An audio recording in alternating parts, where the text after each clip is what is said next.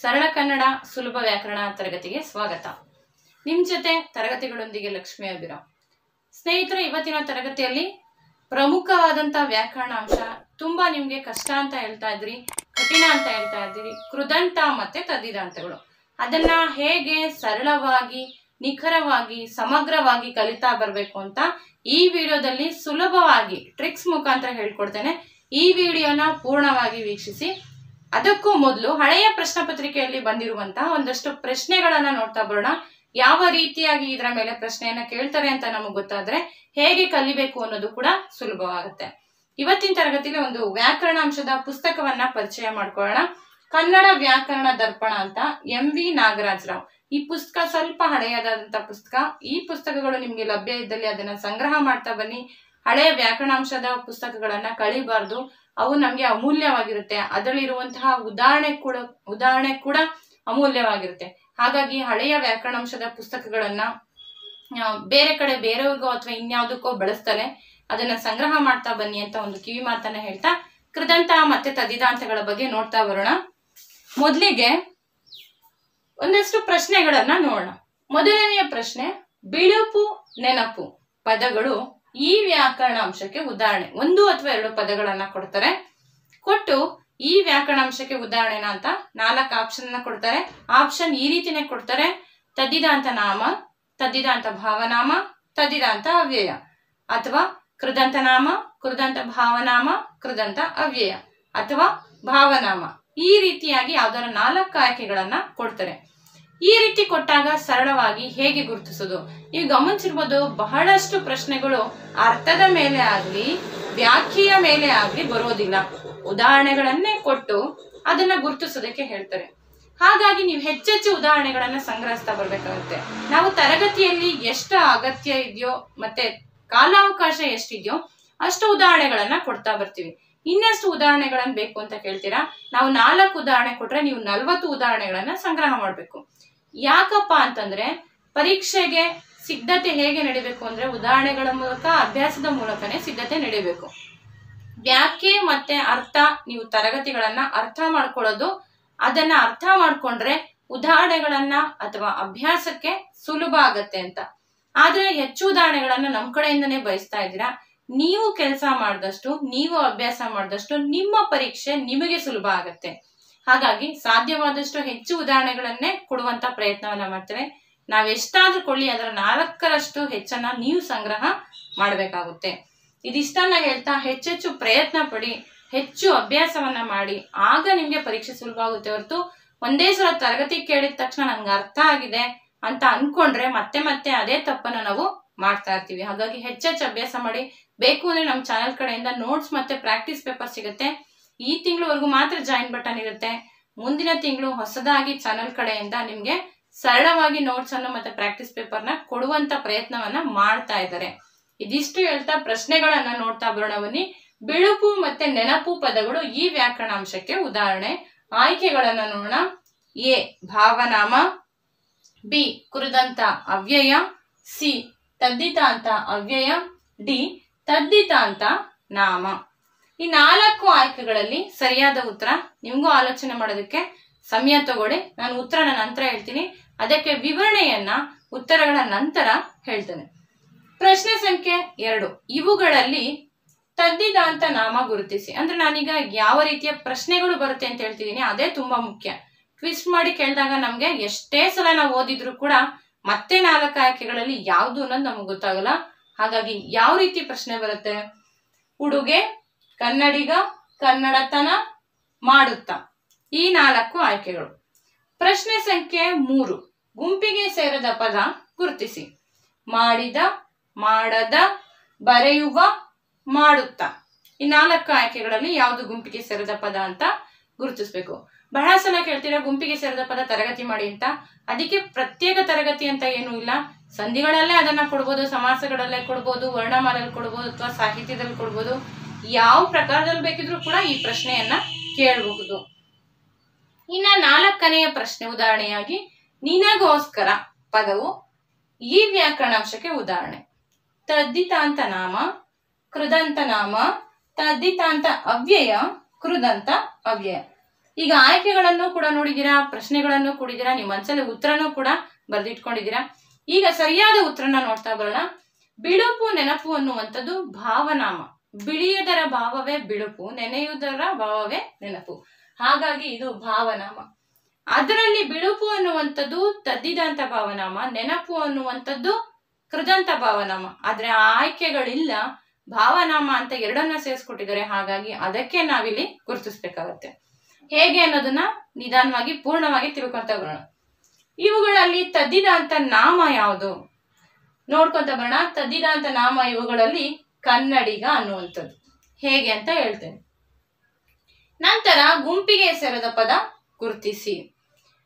ಯಾವುದಿರಬಹುದು, ಮಾಡಿದ, ಮಾಡದ, ಬರೆಯುವ, ಮಾಡುತ್ತ. ನಮ್ಗೆ ಏನನ್ಸುತ್ತೆ ಬರೆಯುವ, ಬೇರೆದು ಅನ್ಸುತ್ತೆ, ಇದು ಅಂತ ಅನ್ಕೊಂತೀವಿ. ಆದ್ರೆ ಇಲ್ಲಿ ಮೂರು ಅಂಶಗಳು ಕೂಡ ಕೃದಂತ ಅವ್ಯ, ಕೃದಂತ ಅವ್ಯಯವನ್ನ ಕೊಡಲಾಗಿದೆ. ಮತ್ತೊಂದು ಕೃದಂತ ಭಾವನಾಮವನ್ನ ಕೊಡಲಾಗಿದೆ. ನೋಡಿ, ಮಾಡಿದ, ಮಾಡದ, ಬರೆಯುವ ಮಾಡುತ್ತ, ಮಾಡುತ್ತಾ ಸರಿಯಾದ ಉತ್ತರ.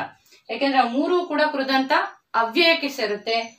ಮಾಡುತ್ತಾ ಅನ್ನೋ, ಮಾಡುತ್ತಾ ಅನ್ನುವಂಥದ್ದು ಅವ್ಯಯಕ್ಕೆ ಸೇರುತ್ತೆ. ಈ ಮೂರು ಕೃದಂತ ಭಾವಕ್ಕೆ ಸೇರುತ್ತೆ. ಹೇಗೆ ಅಂತ ನೋಡ್ತಾ ಬರೋಣ ನಿನಗೋಸ್ಕರ ಅನ್ನುವಂಥದ್ದು ತದ್ದಿತ ಅಂತ ಅವ್ಯಯಕ್ಕೆ ಬರುತ್ತೆ. ಸರಿಯಾದ ಉತ್ತರ, ತದ್ದಿತ ಅಂತ ಅವ್ಯಯ.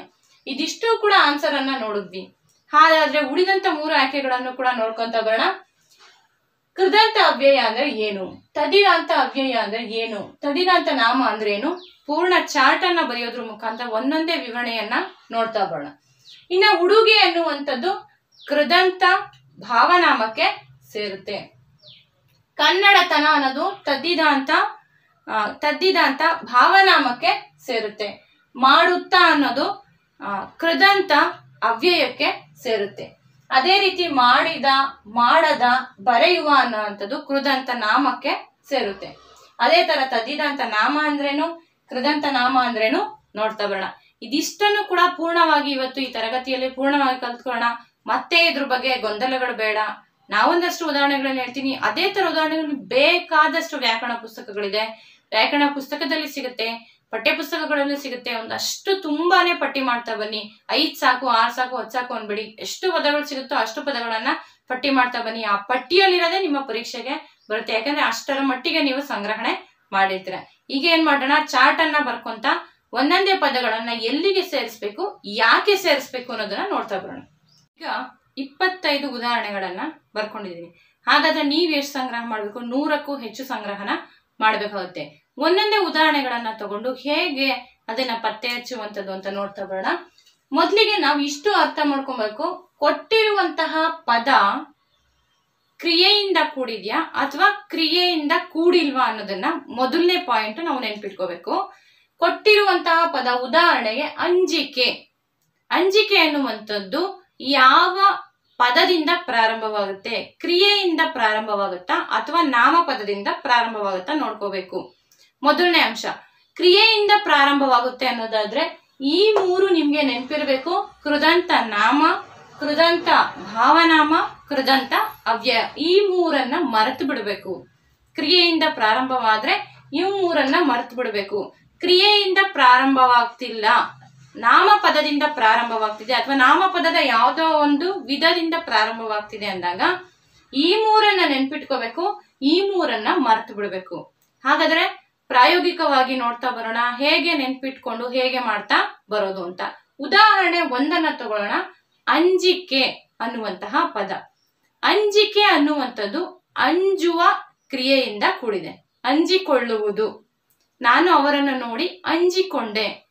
ಅಂಜುವುದು, ಅಳುಕುವುದು ಅನ್ನುವಂತಹ ಕ್ರಿಯೆಯಿಂದ ಅಂಜುವನ್ನು ಅನ್ನುವಂತಹ ಕ್ರಿಯೆಯಿಂದ ಅಂಜಿಕೆ ಅನ್ನುವಂತಹ ಪದ ಇರೋದನ್ನ ಕಾಣ್ಬೋದು. ಹಾಗಾದ್ರೆ ಧಾತುವಿನಿಂದ ಅಥವಾ ಕ್ರಿಯೆಯಿಂದ ಈ ಪದ ಪ್ರಾರಂಭವಾಗ್ತಿದೆ ಅಂತ ಹೇಳಿದ್ರೆ ಈ ಮೂರನ್ನ ನೆನ್ಪಿಟ್ಕೋಣ ಈ ಮೂರಲ್ಲಿ ಅದು ಉತ್ತರ ಆಗೋದಕ್ಕೆ ಸಾಧ್ಯ ಇಲ್ಲ.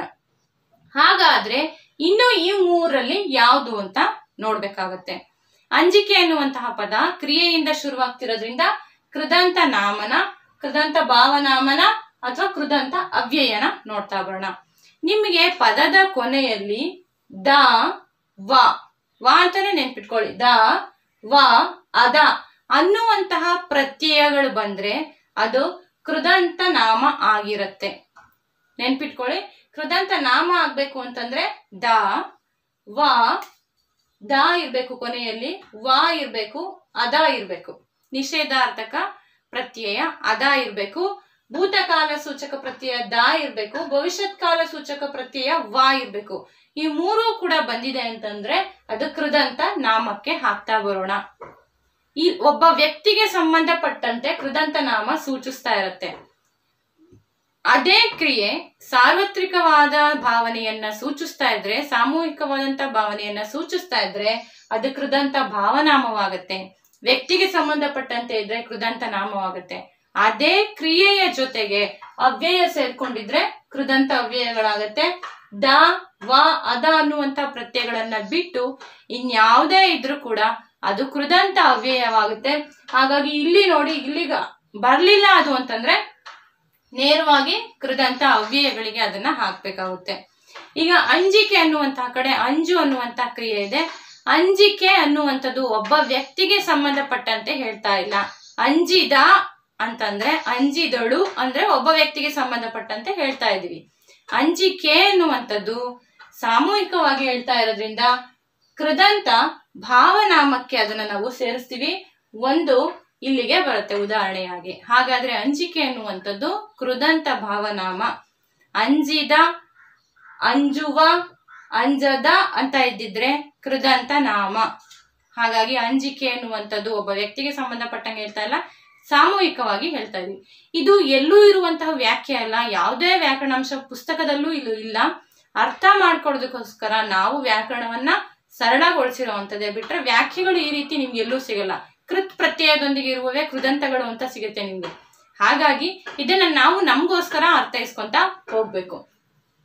ನಂತರ ಎರಡನೆಯ ಪದವನ್ನ ತಗೊಳ್ಳೋಣ. ನಾಚಿಕೆ. ನಾಚಿಕೆ ಅನ್ನುವಂಥದ್ದು ಈಗಾಗಲೇ ಹೇಳಿದೀವಿ. ನಾಚುವಂತಹ ಕ್ರಿಯೆಯಿಂದ ಪ್ರಾರಂಭವಾಗ್ತಾ ಇದೆ. ನಾಚುವಂಥದ್ದು ಕ್ರಿಯೆ. ಹಾಗಾಗಿ ಇವು ಮೂರನ್ನ ಬರೆಯೋಣ. ಇವು ಮೂರು ನೆನ್ಪಿರ್ಲಿ. ಹಾಗಾಗಿ ನಾಚಿದ ಅಂತ ಇಲ್ಲ, ನಾಚುವ ಅಂತ ಇಲ್ಲ, ನಾಚದ ಅಂತ ಇಲ್ಲ. ಹಾಗಾಗಿ ನಾಚಿಕೆ ಅಂತ ಇರೋದ್ರಿಂದ, ಸಾಮೂಹಿಕವಾಗಿ ಅದನ್ನ ಹೇಳ್ತಾ ಇರೋದ್ರಿಂದ, ಉದಾಹರಣೆ ಎರಡೂ ಕೂಡ ಕೃದಂತ ಭಾವನಾಮಕ್ಕೆ ಸೇರುತ್ತೆ. ಆಯ್ತಾ? ಅರ್ಥ ಆಗ್ತಾ ಇದೆ ಅಂತ ಭಾವಿಸ್ಕೊಂತೀನಿ. ಈಗ ಮೂರನೇದಕ್ಕೆ ಬರೋಣ. ನೆನಪು. ನೆನಪು ಕೂಡ ನೆನೆಯುವಂತಹ ಕ್ರಿಯೆಯಿಂದ ಪ್ರಾರಂಭವಾಗ್ತಾ ಇದೆ. ನೆನೆದ ಅಂತ ಇಲ್ಲ, ನೆನೆಯುವ ಅಂತ ಇಲ್ಲ, ನೆನೆಯದ ಅಂತ ಇಲ್ಲ. ಹಾಗಾಗಿ ಸಾಮೂಹಿಕವಾಗಿ ಹೇಳ್ತಾ ಇದೆ, ನೆನಪು ಅನ್ನುವಂಥದ್ದು ಅದು ಕೂಡ ಕೃದಂತ ಭಾವನಾಮಕ್ಕೆ ಉದಾಹರಣೆ. ಹಾಗಾಗಿ ಕೃದಂತ ಭಾವನಾಮ ಚೆನ್ನಾಗಿ ಅರ್ಥ ಆಗ್ತಾ ಇದೆ. ಒಂದು ವ್ಯಕ್ತಿಗೆ ಸಂ ಒಬ್ಬ ವ್ಯಕ್ತಿಗೆ ಸಂಬಂಧಪಟ್ಟಂತೆ ಹೇಳ್ತಾ ಇಲ್ಲ, ಸಾಮೂಹಿಕವಾಗಿ ಹೇಳ್ತಾ ಇದೀವಿ, ಕ್ರಿಯೆಗೆ ಸಂಬಂಧಿಸಿದೆ. ನಂತರ ಕಪ್ಪು ಅಂತ ಇದೆ. ಅಲ್ಲಿ ನೆನಪು ಅನ್ಬೇಕಾದ್ರೂ ಪೂ ಇದೆ, ಇಲ್ಲಿ ಕಪ್ಪು ಅನ್ಬೇಕಾದ್ರೂ ಪೂ ಇದೆ, ಹಾಗಾದ್ರೆ ಕೃದಂತ ಭಾವನಾಮನ ಖಂಡಿತ ಅಲ್ಲ. ಕಪ್ಪು ಅನ್ನುವಂಥದ್ದು ಯಾವ ಕ್ರಿಯೆಯಿಂದನೂ ಪ್ರಾರಂಭವಾಗ್ತಿಲ್ಲ. ಕಪ್ಪು ಅನ್ನುವಂಥದ್ದು ನಾಮಪದದಲ್ಲಿ ಗುಣವಾಚಕ ಬರುತ್ತಲ್ಲ, ಅದಕ್ಕೆ ಸೇರಿದಂಥದ್ದು. ಹಾಗಾದ್ರೆ ಅದು ನಾಮಪದ ಅಂದಾಗ ನಾವು ಇವ ಈ ಮೂರರಲ್ಲಿ ಯಾವುದು ಅಂತ ನಾವು ಆಯ್ಕೆ ಮಾಡ್ಕೋಬೇಕು. ಈ ಮೂರನ್ನ ನಾವು ಮರಿಬೇಕು. ಹಾಗಾದ್ರೆ ಕಪ್ಪು ಅನ್ನೋಂಥದ್ದನ್ನ ಈ ಮೂರಲ್ಲಿ ಯಾವುದಕ್ಕೆ ಸೇರಿಸೋಣ? ಒಬ್ಬ ವ್ಯಕ್ತಿಗೆ ಸಂಬಂಧಪಟ್ಟಂತೆ ಹೇಳ್ತಾ ಇದ್ರೆ ಇಲ್ಲಿಗೆ ಸೇರಿಸ್ಬೇಕು. ಸಾಮೂಹಿಕವಾಗಿ ಹೇಳ್ತಾ ಇದ್ರೆ ಇಲ್ಲಿಗೆ ಸೇರಿಸ್ಬೇಕು. ಇದೆರಡು ಅಲ್ಲ ಅಂದಾಗ ನಾಮಪದದ ಜೊತೆಗೆ ಅವ್ಯಯ ಇದ್ದಾಗ ಇಲ್ಲಿಗೆ ಸೇರಿಸ್ಬೇಕು. ಯಾವುದೇ ಅವ್ಯಯ ಇಲ್ಲ. ಕಪ್ಪು ಅನ್ನುವಂಥದ್ದು ಸಾಮೂಹಿಕವಾಗಿ ಹೇಳ್ತಾ ಇದೆ. ಹಾಗಾಗಿ ಅದನ್ನ ತದ್ದಿನ ಅಂತ ಭಾವನಾಮಕ್ಕೆ ಸೇರಿಸ್ತೀವಿ. ಎಷ್ಟನೇದು? ನಾಲ್ಕನೆಯ ಉದಾಹರಣೆ ತದ್ದಿನ ಅಂತ ಭಾವನಾಮ. ಯಾಕೆಂದ್ರೆ ಅದು ನಾಮಪದದಿಂದ ಕೂಡಿದೆ, ಸಾಮೂಹಿಕವಾಗಿ ಅದು ಪ್ರತಿನಿಧಿಸ್ತಾ ಇದೆ. ಹಾಗಾಗಿ ಕಪ್ಪು ಅನ್ನುವಂಥದ್ದು ತದ್ದಿದಾಂತ ಭಾವನಾಮ. ಈ ರೀತಿ ಡೆಫಿನೇಷನ್ ನಿಮಗೆ ಸಿಗೋದಿಲ್ಲ. ತದಿದಾಂತ ಭಾವನಾಮ ಅಂತಂದ್ರೆ ಅಲ್ಲಿ ಭಾವನೆಗಳನ್ನ ಒಳಗೊಂಡಿರುತ್ತೆ ಅಂತ ನಿಮ್ಗೆ ವ್ಯಾಖ್ಯೆಗಳು ಸಿಗುತ್ತೆ. ಆದ್ರೆ ಸುಲಭವಾದ ಟ್ರಿಕ್ಸ್ ಅಂದ್ರೆ ಇಷ್ಟೇ. ನಾಮಪದಕ್ಕೆ ಸಂಬಂಧಿಸಿರುತ್ತೆ ಅದರ ಜೊತೆಗೆ ಸಾಮೂಹಿಕವಾಗಿ ಹೇಳ್ತಾ ಇರ್ತೇವೆ. ಐದನೆಯ ಉದಾಹರಣೆ, ಗುಣವಂತ ಗುಣವಂತ ಅಂತ ಹೇಳ್ತಾ ಇದ್ದೀವಿ. ಒಬ್ಬ ವ್ಯಕ್ತಿಗೆ ಸಂಬಂಧಪಟ್ಟಂಗೆ ಹೇಳ್ತಾ ಇದ್ದೀವಿ. ಗುಣವಂತ, ಗುಣವಂತೆ. ಒಬ್ಬ ವ್ಯಕ್ತಿಗೆ ಸಂಬಂಧಪಟ್ಟಂತ ಹೇಳ್ತಾ ಇದ್ದೀವಿ. ಅದು ನಾಮಪದವಾಗಿದೆ ಗುಣ ಅಂತ ಹೇಳುವಂಥದ್ದು ಕ್ರಿಯೆ ಅಲ್ಲ. ಹಾಗಾಗಿ ಇವು ಮೂರನ್ನ ಮರಿಬೇಕು. ಗುಣ ಅನ್ನುವಂಥದ್ದು ನಾಮಪದ. ಈ ಮೂರಲ್ಲಿ ಯಾವುದು? ಒಬ್ಬ ವ್ಯಕ್ತಿಗೆ ಸಂಬಂಧಪಟ್ಟಂತ ಹೇಳ್ತಾ ಇದ್ದೀವಿ. ಹಾಗಾಗಿ ಐದನೆಯ ಸಂಖ್ಯೆ ತದ್ದಿದಾಂತ ನಾಮ. ಸರಿ, ಆರನೆಯ ಉದಾಹರಣೆಗೆ ಬರೋಣ. ಗುಣವಂತಿಕೆ. ಅದೇ ಗುಣವಂತ ಅಂತಂದ್ರೆ ತದ್ದಿದಾಂತ ನಾಮ. ಅದೇ ಗುಣವಂತಿಕೆ ಅಂದ್ರೆ ಸಾಮೂಹಿಕವಾಗಿ ಹೇಳ್ತಾ ಇದೀವಿ ನಾಮಪದದಿಂದ ಕೂಡಿದೆ. ಹಾಗಾಗಿ ಉದಾಹರಣೆ ಆರು, ತದ್ದಿದಾಂತ ಭಾವನಾಮ. ಅದೇ ರೀತಿ ಏಳನೇ ಉದಾಹರಣೆಗೆ ಬಂದಾಗ ಸೀತೆಯಂತೆ. ಸೀತೆ ಅನ್ನುವಂಥದ್ದು ನಾಮಪದ, ಅಂಕಿತ ನಾಮ ಎಲ್ರಿಗೂ ಗೊತ್ತಿರುವಂಥದ್ದು. ಆ ಸೀತೆ ಜೊತೆಗೆ ಒಂದು ಹೊಸ ಒಂದು ಒಂದು ಪದವು ಕೂಡ ಸೇರ್ಕೊಂಡಿದೆ. ಅಂತೆ ಅನ್ನುವಂಥದ್ದು. ಅಂತೆ ಅನ್ನುವಂಥದ್ದು ಏನು ಇರಬಹುದು? ಅಂತೆ ಅನ್ನುವಂಥದ್ದು ಏನು ಅಂತ ಕಂಡಿಡಬೇಕು ಅಂದ್ರೆ ಅದು ಅವ್ಯಯನ ಅಂತ ನೀವು ನಾಮ ಪದದ ಜೊತೆಗೆ ಅವ್ಯಯ ಇದ್ರೆ ಅದು ತದ್ದಿತ ಅಂತ ಅವ್ಯಯ. ನಮ್ಗೆಲ್ಲ ಗೊತ್ತಾಗುತ್ತೆ ಮೇಡಮ್. ಅವ್ಯಯನ ಅಂತ ಗೊತ್ತಾಗೋದೇ ಇಲ್ಲ. ಹಾಗಾದ್ರೆ ನೀವೇನ್ ಮಾಡಿ ಆ ಅಂತೆ ಎನ್ನುವಂತಹ ಪದಕ್ಕೆ ಸ್ತ್ರೀಲಿಂಗ, ಪುಲ್ಲಿಂಗ ಎರಡನ್ನ ಸೇರಿಸ್ ನೋಡಿ ಬದಲಾಗ್ತಿಲ್ಲ ಅಂದ್ರೆ ಅದು ಅವ್ಯಯ. ಅಂತೆ, ಸೀತೆಯಂತೆ, ರಾಮನಂತೆ, ಹನುಮಂತನಂತೆ, ಅವರಂತೆ, ಇವರಂತೆ, ಅವನಂತೆ, ಇವಳಂತೆ. ಬದ್ಲಾಯ್ತಾ? ಬದ್ಲಾಗಿಲ್ಲ. ಹಾಗಾದ್ರೆ ಅದು ಅವ್ಯಯ ಅಂತ ಗೊತ್ತಾಯ್ತು. ಈಗ ನಮಗೆ ಗೊತ್ತಾಗ್ಬೇಕು, ನಾಮಪದ ಜೊತೆಗೆ ಅವ್ಯಯ ಇದೆ. ಹಾಗಾಗಿ ಅದು ಎಷ್ಟನೇ ಉದಾಹರಣೆ? ಏಳನೆಯ ಉದಾಹರಣೆ ತದ್ದಿತ ಅಂತ ಅವ್ಯಯ. ಅರ್ಥ ಮಾಡ್ಕೊಂತ ಬರ್ಬೇಕು. ನಾಮಪದದ ಜೊತೆಗೆ ಅವ್ಯಯ ಇದೆ. ಅವ್ಯಯನ ಕಂಡಿಡಿಬೇಕಾದ್ರೆ ನಿಮಗೆ ಗೊಂದಲ ಆದ್ರೆ ಅದೊಂದು ಚಿಕ್ಕ ಭಾಗ ಏನಿದೆ ಅದನ್ನ ಸ್ತ್ರೀಲಿಂಗಕ್ಕೆ ಸೇರಿಸಿ, ಪುಲ್ಲಿಂಗಕ್ಕೆ ಸೇರಿಸಿ, ಏಕವಚನ, ಬಹುವಚನಕ್ಕೆ ಸೇರಿಸಿ ಅದು ಹಾಗೆ ಇದ್ರೆ ಅದು ಅವ್ಯಯಗಳು ಅಂತ ಕರಿತೇವೆ. ಹಾಗಾಗಿ ಏಳನೆಯ ಉದಾಹರಣೆ ಕೂಡ ಆಯ್ತು. ಎಂಟನೆಯ ಉದಾಹರಣೆಗೆ ಬರೋಣ. ನಿನಗಾಗಿ. ನೀನು ಅನ್ನುವಂಥದ್ದು ನಮ್ಗೆ ನಾಮಪದದಲ್ಲಿ ಸರ್ವನಾಮದಲ್ಲಿ ಬರುತ್ತೆ. ಹಾಗಾಗಿ ಕ್ರಿಯೆ ಅಲ್ಲ. ಕ್ರಿಯೆ ಅಲ್ಲ ಅಂದ್ರೆ ಮೇಲಿನ ಭಾಗ ಮರಿಬೇಕು, ಈ ಭಾಗ ನೆನ್ಪಿಟ್ಕೋಬೇಕು. ಹಾಗಾದ್ರೆ ಇವು ಮೂರಲ್ಲಿ ಯಾವುದು? ನಿನಗಾಗಿ ಅಂತ ಇದೆ. ಆಗಿ ಅನ್ನುವಂಥದ್ದು ಅವ್ಯಯ. ನಿನಗಾಗಿ, ಅವನಿಗಾಗಿ, ಅವಳಿಗಾಗಿ, ಅವರಿಗಾಗಿ ಬದಲಾಯ್ತಾ? ಇಲ್ಲ. ಹಾಗಾಗಿ ನೀನು ಅನ್ನುವಂತಹ ನಾಮಪದ ಜೊತೆಗೆ ಅವ್ಯಯ ಇದೆ. ಆಗಿ ಎನ್ನುವಂಥದ್ದು ಅವ್ಯಯ. ಬೇಕಿದ್ರೆ ಬೇರೆ ಬೇರೆ ಕಡೆ ಸೇರಿಸ್ ನೋಡಿ. ನಿನಗಾಗಿ ಪುಲ್ಲಿಂಗದಲ್ಲಿ ಅವನಿಗಾಗಿ, ಸ್ತ್ರೀಲಿಂಗದಲ್ಲಿ ಅವಳಿಗಾಗಿ, ಬಹುವಚನದಲ್ಲಿ ಅವರಿಗಾಗಿ ಈಗೆಲ್ಲ ಸೇರಿಸ್ ನೋಡ್ತಾ ಇದ್ದೀವಿ. ಆ ಪದ ಬದಲಾಗ್ತಾ ಇಲ್ಲ. ಹಾಗಾದ್ರೆ ಅದು ಅವ್ಯಯನೇ. ನೀನು ಅನ್ನುವಂಥದ್ದು ನಾಮಪದ, ಆಗಿ ಎನ್ನುವಂಥದ್ದು ಅವ್ಯಯ. ಹಾಗಾದ್ರೆ ಇದು ತದ್ದಿದ ಅಂತ ಅವ್ಯಯ. ಎಷ್ಟನೇದು? ಎಂಟನೆಯ ಉದಾಹರಣೆ. ನಂತರ ಒಂಬತ್ತನೆಯ ಉದಾಹರಣೆಗೆ ಬರೋಣ. ನಿಮ್ಗೆ ಆಲೋಚನೆ ಮಾಡೋದಕ್ಕೆ ಸಮಯ ಕೊಡ್ತೀನಿ. ಒಂದಷ್ಟು ಪದಗಳು ಆದ್ಮೇಲೆ. ಮಾಡಿದ ಅಂತ ಇದೆ. ಮಾಡು ಅನ್ನುವಂಥದ್ದು ಕ್ರಿಯೆ. ಹಾಗಾದ್ರೆ ನಾವು ಇವ್ ಮೂರನ್ನ ಬರೆಯೋಣ. ಇವ್ ಮೂರು ಮಾತ್ರ ನಮ್ಗೆ ನೆನಪಿರ್ಲಿ. ಮಾಡು ಅನ್ನುವಂತಹ ಕ್ರಿಯೆಯ ಜೊತೆಗೆ ದ ಅನ್ನುವಂತಹ ಅಕ್ಷರ ನಮ್ಗೆ ಕೊನೆಗೆ ಸಿಗ್ತಾ ಇದೆ. ಹಾಗಾಗಿ ನಮ್ಗೆ ತುಂಬಾ ಚೆನ್ನಾಗಿ ಗೊತ್ತು. ದ ಅನ್ನುವಂಥದ್ದು ಭೂತಕಾಲವನ್ನ ಸೂಚಿಸುತ್ತೆ. ಹಾಗಾಗಿ ದ, ವ, ಅದ ಅಂತ ಬಂದ್ರೆ ಅದು ಕೃದಂತ ನಾಮ. ಹಾಗಾದ್ರೆ ಮಾಡಿದ ಅನ್ನುವಂಥದ್ದನ್ನ ನಾವು ಇಲ್ಲಿಗೆ ಸೇರಿಸೋಣ. ಒಂಬತ್ತನೆಯ ಉದಾಹರಣೆ. ಕೃದಂತ ನಾಮ. ಸರಿ, ಹತ್ತನೆಯ ಉದಾಹರಣೆ, ನೋಡದ ನೋಡದ ಅಂತ ಇದೆ. ನೋಡದ, ಅದ ಬಂದಿದ್ಯಾ? ನೋಡ್ಕೋಬೇಕು. ನೋಡದೆ ಅಂತ ಇದೆ. ಇಲ್ಲಿರೋದು ಅದ. ಅಲ್ಲಿ ಬಂದಿರೋದು? ಇಲ್ಲಿ ಬಂದಿರೋದು? ನೋಡಿದ್ದ. ಅದಾಯ್ತು. ಇಲ್ಲಿಗೆ ಬರ್ತೀವಿ ಉದಾಹರಣೆ. ಈಗ ನಾವು ನೋಡ್ತಾ ಇರೋದು ನೋಡದ ಅಂತ ಇದೆ. ನೋ ಸಾರಿ ನೋಡದೆ ಅಂತ ಇದೆ. ಅದೇ ಅಂತ ಬಂದ್ರೆ ಇಲ್ಲಿಗೆ ಬರುತ್ತೆ. ಅದ ಅಂದ್ರೆ ಇಲ್ಲಿ ಬರುತ್ತೆ, ಅದೇ ಅಂದ್ರೆ ಇಲ್ಲಿ ಬರುತ್ತೆ. ಕೃದಂತ ಅವ್ಯಯ. ಹೇಗೆ ಅಂದ್ರೆ ನೀವು ಅವ್ಯಯನ ಬೇರೆ ಬೇರೆ ತರ ಸೇರಿಸಿ ನೋಡಬಹುದು ಅವಳು ನೋಡದೆ, ಅವನು ನೋಡದೆ, ಅವರು ನೋಡದೆ ಬದಲಾಗ್ತಾ ಇಲ್ಲ. ಹಾಗಾಗಿ ಇದನ್ನ ನಾವು ಅದೇ ಅನ್ನುವಂಥದ್ದನ್ನ ಕೃದಂತ ಅವ್ಯಯ ಅಂತ ನೆನ್ಪಿಟ್ಕೋಬೇಕು. ಆದ್ರೆ ಇವು ಮೂರು ಪ್ರತ್ಯಯಗಳು ಬಂದಾಗ ಮಾತ್ರ ಕೃದಂತ ನಾಮ ಅಂತಾನೆ ನಾವು ಗುರುತಿಸ್ಬೇಕು. ದ, ವ, ಅದ. ಅದೇ ಬಂದ್ರೆ ಕೃದಂತ ಅವ್ಯಯ ಆಗಿರುತ್ತೆ. ಅದೇ ಅಲಿಕೆ ಆ, ಈ ಈ ರೀತಿಯಾಗಿ ಒಂದಷ್ಟು ಅವ್ಯಯಗಳಿದೆ. ಆದ್ರೆ ನೆನ್ಪಿಟ್ಕೊಳ್ಳೋದು ತುಂಬಾನೇ ಕಷ್ಟ ಆಗುತ್ತೆ. ಈಗ ತದ್ದಿದ ಅಂತ ತದ್ದಿದ ಅಂತ ನಾಮಕ್ಕೆ ಬಂದ್ರೆ ಕಾರ ಗಾರ ಅಡಿಗ ಗಿತ್ತಿ ಅಂತ ಒಂದಷ್ಟು ಪಟ್ಟಿ ಸಿಗುತ್ತೆ ನಿಮ್ಗೆ ಪುಸ್ತಕದಲ್ಲಿ. ಅದೆಲ್ಲ ನೆನ್ಪಿಟ್ಕೊಳ್ಳೋದು ತುಂಬಾನೇ ಕಷ್ಟ ಆಗುತ್ತೆ. ಹಾಗಾಗಿ ಇದಿಷ್ಟು ತುಂಬಾ ಚೆನ್ನಾಗಿ ಅರ್ಥ ಮಾಡ್ಕೋಬೇಕು. ಏನೂ ಇಲ್ಲ. ಕ್ರಿಯೆಯ ಜೊತೆಗೆ ಪದ ಪ್ರಾರಂಭವಾದ್ರೆ ಇವ್ ಮೂರು ನೆನ್ಪಿಟ್ಕೊಳ್ಳಿ. ಅದರಲ್ಲಿ ಒಬ್ಬ ವ್ಯಕ್ತಿಗೆ ಸಂಬಂಧಪಟ್ಟಂತೆ ದ, ವ, ಅದ ಇದ್ರೆ ಇದಾಗಿರುತ್ತೆ. ಸಾಮೂಹಿಕವಾಗಿ ಸಂಬಂಧಪಟ್ಟಂತೆ ಇದ್ರೆ ಇದಕ್ಕೆ ಹಾಕಿ. ಇವೆರಡೂ ಅಲ್ಲದನ್ನ ಇದಕ್ ಹಾಕಿ. ನಂತರ ಅದು ಪದ ನಾಮಪದವಾಗಿಂದ ಪ್ರಾರಂಭವಾಗ್ತಾ ಇದ್ರೆ, ಕ್ರಿಯೆಯಿಂದ ಪ್ರಾರಂಭವಾಗ್ತಾ ಇಲ್ಲ, ನಾಮಪದದ್ದಾದ್ರೆ, ಒಬ್ಬ ವ್ಯಕ್ತಿಗೆ ಸಂಬಂಧಪಟ್ಟಿದ್ದಾದ್ರೆ ಇದಕ್ಕಾಕಿ ಸಾಮೂಹಿಕವಾದ್ರೆ ಇದಕ್ಕಾಕ್ರಿ ಇವೆರಡೂ ಅಲ್ಲ ಅಂದಿದ್ದು ಅವ್ಯವದ ಜೊತೆಗೆ ನಾಮಪದ ಇದ್ರೆ ಇದಕ್ ಹಾಕಿ. ತುಂಬಾ ಸರಳವಾದಂತಹ ಟ್ರಿಕ್ಸು ಬೇಕಂದ್ರೆ ಆ ಪಟ್ಟಿಯನ್ನು ಕೂಡ ನೀವು ನೋಟ್ಸ್ ಮತ್ತೆ ಪ್ರಾಕ್ಟೀಸ್ ಪೇಪರ್ ಅಲ್ಲಿ ನಿಮ್ಗೆ ಸಿಗುತ್ತೆ. ಆ ಪಟ್ಟಿಯನ್ನ ನೀವು ಕೂಡ ತಯಾರು ಮಾಡ್ಕೋಬಹುದು ಯಾವ್ಯಾವ ಪ್ರತ್ಯಯಗಳು ಬಂದ್ರೆ ಯಾವ್ಯಾವ್ದು ಅಂತ ಅದನ್ನ ನೀವು ಬೇಕಿದ್ರೆ ಒಂದು ನೋಟ್ಸ್ ಅನ್ನ ಮಾಡ್ತಾ ಬನ್ನಿ. ನಂತರ ಬರೆಯುತ್ತಾ ಅಂತ ಇದೆ. ಬರೆ ಎನ್ನುವಂಥದ್ದು ಕ್ರಿಯೆ. ಹಾಗಾಗಿ ನಾವು ಮೇಲ್ಭಾಗದ ಮೂರು ಆಪ್ಷನ್ಗೆ ಹೋಗೋಣ. ಬರೆಯುತ್ತಾ ಅಂತ ಇದೆ. ಇಲ್ಲಿ ದ ಇಲ್ಲ ವಾ ಇಲ್ಲ ಅದ ಇಲ್ಲ. ಹಾಗಾಗಿ ನಾವೇನ್ ಮಾಡ್ಬೇಕು ಅಂತಂದ್ರೆ ಬರೆಯುತ್ತಾ ಅನ್ನುವಂಥದ್ದು ಸಾಮೂಹಿಕವಾಗಿ ಹೇಳ್ತಾ ಇಲ್ಲ. ಉತ್ತ ಅನ್ನುವಂಥದ್ದು ಅವ್ಯಯ. ಉತ್ತ ಅನ್ನುವಂಥದ್ದು ಅವ್ಯಯ. ಹಾಗಾಗಿ ಕ್ರಿಯೆಯ ಜೊತೆಗೆ ಅವ್ಯಯ ಇದೆ. ಅದು ಕೃದಂತ ಅವ್ಯಯ. ಬರೆಯುವಿಕೆ ಅದೇ ಪದ. ಬರೆಯುವಿಕೆ ಅಂದ್ರೆ ಕೃದಂತ ನಾಮ, ಕೃದಂತ ಭಾವನಾಮ. ಬರೆಯದ, ಬರೆಯುವ, ಬರೆದ ಅಂತ ಇದ್ರೆ ಅದೇ ಕೃದಂತ ನಾಮ. ಅದೇ ಸಾಮೂಹಿಕವಾಗಿ ಹೇಳ್ತಾ ಇದ್ರೆ ಬರೆಯುವಿಕೆ ಅಂತಂದ್ರೆ ಕೃದಂತ ಭಾವನಾಮ. ಬರೆಯುತ್ತ ಅಂತಂದ್ರೆ ಕೃದಂತ ಅವ್ಯಯ. ಇದಿಷ್ಟು ನೆನಪಿರ್ಲಿ. ನಂತರ ಹನ್ನೆರಡನೆಯ ಉದಾಹರಣೆ, ತಿನ್ನುವ. ನಮ್ಗೆ ಸುಲಭವಾಗಿ ಗೊತ್ತಾಗ್ತಾ ಇದೆ, ವಾ ಇದೆ. ಹಾಗಾಗಿ ಹತ್ತನೆಯ ಉದಾಹರಣೆ ಆಯ್ತು, ಹನ್ನೊಂದನೆಯ ಉದಾಹರಣೆ ಇಲ್ಲಿಗೆ ಬರಿತೀವಿ. ಹನ್ನೆರಡನೆಯ ಉದಾಹರಣೆ, ಕೃದಂತ ನಾಮ. ನಂತರ ತಿನ್ನದ. ದ ಅಂತ ಇದೆ, ಅದ ಅಂತ ಇದೆ. ಅದ ಅಂತ ಇದ್ರು ಕೂಡ ಕೃದಂತ ನಾಮಕ್ಕೆ ಹಾಕ್ಬೇಕು. ಹದಿಮೂರನೆಯ ಉದಾಹರಣೆ, ತಿನ್ನದ.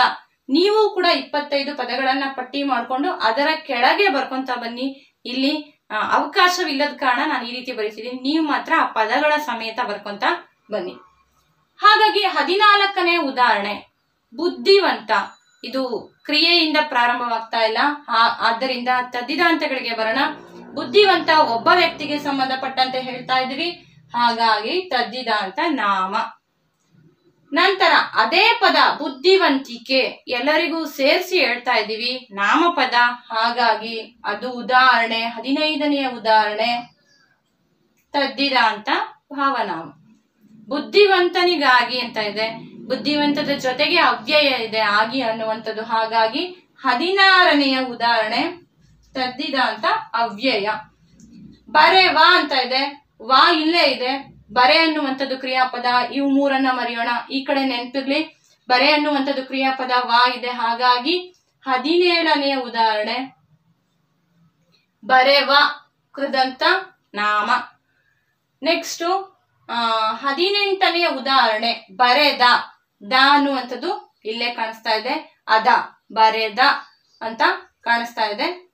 ಹಾಗಾಗಿ ದ ಅನ್ನುವಂಥದ್ದು ಕೂಡ ಇಲ್ಲೇ ಇದ್ದಿದ್ರಿಂದ ಹದಿನೆಂಟನೆಯ ಉದಾಹರಣೆ ಕೂಡ ಕೃದಂತ ನಾಮ. ಬರೆದ.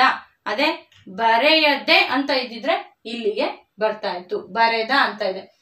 ಬರೆಯದ ಅದ ಕೂಡ ಇದೆ ಇಲ್ಲಿ. ಅದ ಹಾಗಾಗಿ ಹತ್ತೊಂಬತ್ತನೆಯ ಉದಾಹರಣೆ ಕೂಡ ಕೃದಂತ ನಾಮ. ಯಾಕೆ ಇದನ್ನೇ ಹೆಚ್ಚಾಗಿ ತಗೊಂತಾ ಇದೆ ಅಂದ್ರೆ ತುಂಬಾ ಗೊಂದಲ ಆಗೋದು ಕೃದಂತ ನಾಮ ಕೃದಂತ ಅವ್ಯಯದಲ್ಲಿ ಹಾಗಾಗಿ ಬಹಳಷ್ಟು ಸಲ ಹೇಳ್ತಾ ಇದ್ದೀನಿ, ಭೂತಕಾಲ ಸೂಚಕ ಪ್ರತ್ಯಯ ದ, ಭವಿಷ್ಯತ್ ಕಾಲ ಸೂಚಕ ಪ್ರತ್ಯಯ ಉವ ಅಥವಾ ವಾ ಇರುವಂಥದ್ದು ಅದ ಇರುವಂಥದ್ದು, ನಿಷೇಧಾರ್ಥಕ ಪ್ರತ್ಯಯ ಅದ ಇದ್ರೆ ಈ ಮೂರಿದ್ರೆ ತುಂಬಾ ಚೆನ್ನಾಗಿ ಗಮನ ಇರಲಿ. ಕೃದಂತ ನಾಮ. ನಂತರ ಇಲ್ಲಿಗೆ ಬರೋಣ. ಹತ್ತೊಂಬತ್ತನೇ ಉದಾಹರಣೆ ಆಯ್ತು. ಬರೆಯದೆ, ಅದೇ ಅಂತ ಇದೆ. ಹಾಗಾಗಿ ಇಲ್ಲಿಗೆ ಬರಿಬೇಕು. ಉದಾಹರಣೆ ಇಪ್ಪತ್ತು. ಇದರ ಜೊತೆಗೆ ಇನ್ನೊಂದಷ್ಟು ಅವ್ಯಯಗಳು ಬರುತ್ತೆ. ಅಲಿಕೆ, ಆ, ದು ಇವೆಲ್ಲ ಬರುತ್ತೆ. ನಿಮ್ಗೆ ಪುಸ್ತಕದಲ್ಲಿ ಎಲ್ಲಾ ಪುಸ್ತಕಗಳಲ್ಲೂ ಈ ಪಟ್ಟಿ ಸಿಗುತ್ತೆ. ನಂತರ ಬರೆಯಲಿಕ್ಕೆ, ಅದು ಕೂಡ ಇದರಲ್ಲಿ ಯಾವ್ದ್ರಲ್ಲೂ ಇಲ್ಲ. ಹಾಗಾದ್ರೆ ಇಲ್ಲಿಗೆ ಬರುತ್ತೆ ಬರೆಯಲಿಕ್ಕೆ ಇಪ್ಪತ್ತೊಂದನೆಯ ಉದಾಹರಣೆ ಕೃದಂತ ಅವ್ಯಯ, ಬರೆಯಲಿಕ್ಕೆ. ಬರೆಯ, ಅವಳು ಬರೆಯಲಿಕ್ಕೆ, ಅವನು ಬರೆಯಲಿಕ್ಕೆ, ಅವರು ಬರೆಯಲಿಕ್ಕೆ. ಅಲಿಕ್ಕೆ ಬದಲಾಗ್ತಾ ಇಲ್ಲ. ಹಾಗಾಗಿ ಅದು ಅವ್ಯಯ. ಕ್ರಿಯೆ ಜೊತೆಗೆ ಅವ್ಯಯ ಇರೋದ್ರಿಂದ ಕೃದಂತ ಅವ್ಯಯ ತುಂಬಾ ಸಿಂಪಲ್. ನಂತರ ಬರೆದು ಬರೆದು ಅಂತ ಇದೆ, ಬರೆದ ಅಂತ ಇಲ್ಲ, ನೆನ್ಪಿಟ್ಕೊಳ್ಳಿ, ಬರೆದು ಅಂತ ಇರೋದ್ರಿಂದ ಇಪ್ಪತ್ತೆರಡನೆಯ ಉದಾಹರಣೆ, ಅವ್ಯಯ, ದು ಅನ್ನುವಂಥದ್ದು ಅವ್ಯಯ. ನಂತರ ಹೂವಾಡಗಿತ್ತಿ. ಹೂವಾಡಗಿತ್ತಿ ಅನ್ನುವಂಥದ್ದು ಹೂವಾಡಗಿತ್ತಿ ಎನ್ನುವಂಥದ್ದು ನಾಮಪದವಾದ್ರಿಂದ ಒಬ್ಬ ವ್ಯಕ್ತಿಗೆ ಸಂಬಂಧಪಟ್ಟಂತೆ ಮಾತ್ರ ಹೇಳ್ತಾ ಇದೀವಿ. ಎಲ್ಲರನ್ನ ಹೂವಾಡಗಿತ್ತಿ ಅನ್ನೋ ಸಾಧ್ಯ ಇಲ್ಲ. ಹೂವನ್ನ ಮಾರುವವಳನ್ನ ಮಾತ್ರ ಹೂವಾಡಗಿತ್ತಿ ಅಂತ ಇದೀವಿ. ಹಾಗಾಗಿ ಹೂವಾಡಗಿತ್ತಿ ನಾಮಪದ ಒಬ್ಬರಿಗೆ ಸಂಬಂಧಪಟ್ಟಂತ ಹೇಳ್ತಾ ಇದ್ದೀವಿ ಹಾಗಾಗಿ ತದ್ದಿದ ಅಂತ ನಾಮಕ್ಕೆ ಸೇರುತ್ತೆ. ಇಪ್ಪತ್ತ್ ಮೂರನೆಯ ಉದಾಹರಣೆ. ನಂತರ ಇಪ್ಪತ್ನಾಲ್ಕನೆಯ ಉದಾಹರಣೆ. ಹಿರಿಮೆ. ಹಿರಿಮೆ ಅನ್ನುವಂಥದ್ದು ಹಿರಿಯದರ ಭಾವ, ಹಿರಿಮೆ. ಹಿರಿ ಅನ್ನುವಂಥದ್ದು ಕ್ರಿಯಾಪದವಲ್ಲ. ಹಾಗಾಗಿ ಅದು ನಾಮಪದ. ಹಿರಿದು ಅನ್ನುವಂಥದ್ದು. ನಾವು ನೋಡಿದೀವಿ ಈಗಾಗಲೇ ನಾಮಪದದ ಒಂದು ವಿಧದಲ್ಲಿ ಇದನ್ನ ನಾವು ನೋಡಿದೀವಿ. ಹಾಗಾಗಿ ಇದು ನಾಮಪದ, ಹಿರಿದು ಅನ್ನುವಂಥದ್ದು ನಾಮಪದ.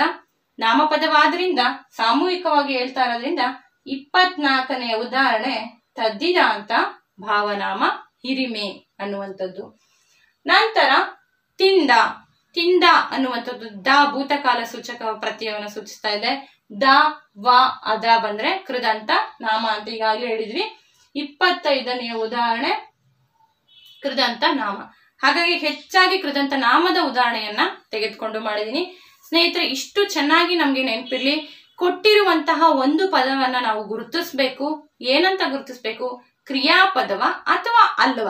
ಇಷ್ಟನ್ ಮಾತ್ರ ಗುರುತಿಸಿ ಸಾಕು. ನಾಮಪದದಲ್ಲೂ ಕೂಡ ಯಾವ ನಾಮಪದ ಅಂತ ಅರ್ಥ ಆಗದೆ ಇದ್ರೂ ಪರವಾಗಿಲ್ಲ. ಕ್ರಿಯಾಪದವ ಅಥವಾ ಅಲ್ಲ. ಕ್ರಿಯಾಪದವಾದ್ರೆ ಈ ಮೂರು ಗುಂಪುಗಳಿಗೆ ಸೇರಿದ್ದಾಗಿರುತ್ತೆ. ಕ್ರಿಯಾಪದವಲ್ಲ ಅಂತ ನೀವು ಅನ್ಕೊಂಡ್ರೆ ಈ ಮೂರಲ್ಲಿ ಸೇರಿರುತ್ತೆ. ಆಯ್ಕೆಗಳನ್ನ ನೋಡ್ಕೋಬೇಕಾಗತ್ತೆ. ನಂತರ ಎರಡನೇ ಹಂತ ನೀವೇನ್ ಮಾಡ್ಬೇಕು ಅಂತಂದ್ರೆ ಕ್ರಿಯಾಪದ ಅಂತ ಗೊತ್ತಾಯ್ತು ಅಂದ ತಕ್ಷಣ ಇವು ಮೂರರಲ್ಲಿ ನೀವು ಹುಡುಕೋ ಪ್ರಯತ್ನ ಮಾಡ್ಬೇಕು. ನಾಮಪದ ಅಂತ ಗೊತ್ತಾಗಿದ ತಕ್ಷಣ ಇವು ಮೂರರಲ್ಲಿ ಹುಡುಕುವಂತ ಪ್ರಯತ್ನವನ್ನ ಮಾಡಬೇಕು. ನಂತರ ಎರಡನೇ ಹಂತದಲ್ಲಿ ಒಬ್ಬ ವ್ಯಕ್ತಿಗೆ ಸಂಬಂಧಪಟ್ಟಿದಂತೆ ನಾಮಪದವಿದ್ರೆ ಅದು ಇಲ್ಲಿಗೆ ಹಾಕ್ಬೇಕು. ಅದೇ ನಾಮಪದ ಸಾಮೂಹಿಕವಾಗಿದ್ರೆ ಇಲ್ಲಿಗೆ ಹಾಕ್ಬೇಕು. ನಾಮಪದ ಜೊತೆಗೆ ಅವ್ಯಯ ಇದ್ರೆ ಈ ಭಾಗಕ್ಕೆ ಅದನ್ನ ಹಾಕ್ಬೇಕಾಗುತ್ತೆ. ತದ್ದಿದ ಅಂತ ಅವ್ಯಯಕ್ಕೆ. ನಾಮಪದ ಒಬ್ಬ ವ್ಯಕ್ತಿಗೆ ಸಂಬಂಧಿಸಿದಂತೆ ತದ್ದಿದ ಅಂತ ನಾಮ, ನಾಮಪದ ಎಲ್ಲರಿಗೆ ಸಂಬಂಧಿಸಿದಂತೆ ಸಾಮೂಹಿಕವಾಗಿ ತದ್ದಿದ ಅಂತ ಭಾವನಾಮ, ನಾಮಪದದ ಜೊತೆಗೆ ಅವ್ಯಯವಿದ್ದಲ್ಲಿ ತದ್ದಿದ ಅಂತ ಅವ್ಯಯ. ಅದಾದ್ಮೇಲೆ ಕ್ರಿಯೆಯಲ್ಲಿ ಕ್ರಿಯಾಪದ ಎಂದು ಗುರುತಿಸಿಕೊಂಡಾಗ ಕ್ರಿಯಾಪದದ ಕೊನೆಯಲ್ಲಿ ದ, ವ, ಅದ ಅನ್ನುವಂತಹ ಪ್ರತ್ಯಯಗಳಿದ್ರೆ ಕೃದಂತ, ನಾಮ.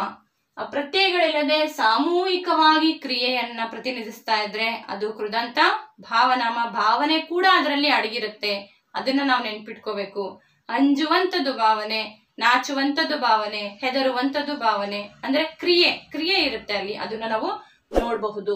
ನಂತರ ಕ್ರಿಯೆಯ ಜೊತೆಗೆ ಅವ್ಯಯ ಇರುವಂತದ್ದೇ ಕೃದಂತ ಅವ್ಯಯ. ಇದಿಷ್ಟು ಚೆನ್ನಾಗಿ ಅರ್ಥ ಆಗಿದೆ ಅಂತ ಭಾವಿಸ್ತಾ ಇದ್ರ ಬಗ್ಗೆ ಏನಾದರೂ ಡೌಟ್ ಇದ್ರೆ ಕಾಮೆಂಟ್ನಲ್ಲಿ ಹಾಕ್ಸಿ. ವಂದನೆಗಳೊಂದಿಗೆ ಲಕ್ಷ್ಮಿ